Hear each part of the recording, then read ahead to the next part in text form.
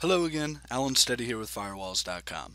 In this video I'm going to demonstrate how you can create a source-based firewall policy based on a device's MAC address on your Sophos XG firewall.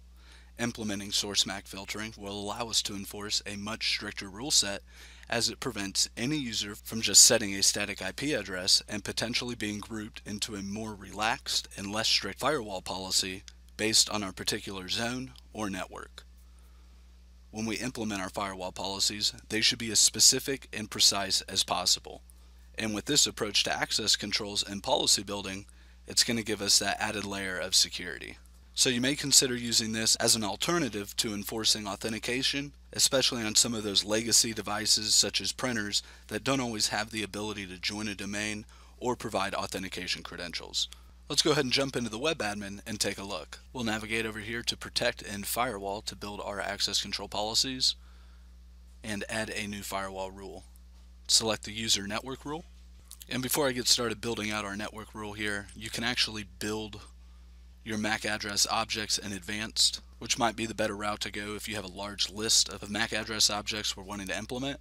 But we also have the ability to create our MAC hosts right here under MAC list, where we can create an individual MAC address or also group MAC addresses. So if you want to create those in advance, we're going to come down here to System, Hosts and Services, and MAC host. And we can create those hosts right here. So we'll jump back over here to our firewall rule add firewall rule, user network rule, give our rule a name, select our source zone, again this is always going to be where our traffic is originating from, select our MAC address objects, or again we can go ahead and just create those right here. And I guess before I get too far, in this example we are just using a, a printer for our device, but this could be any MAC address uh, for any NIC that's in any device. Select our destination zone. This is where our traffic is going to go to. And here, if you don't have network domain services, you can still attach an identity to the printer through our live users, where we can actually associate a user profile with a particular IP address.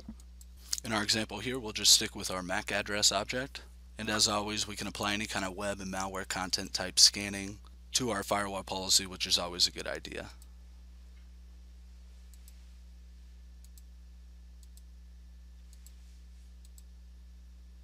Go ahead and log our traffic and select save.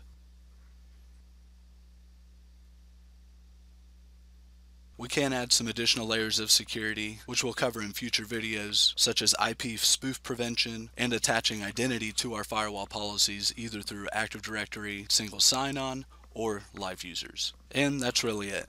Thanks for watching. And as always, if you found this video helpful, be sure to subscribe to our YouTube channel so you're notified of future video releases. Give us the thumbs up and be sure to come and check us out at firewalls.com. It's www.firewalls.com. Get secure, stay secure.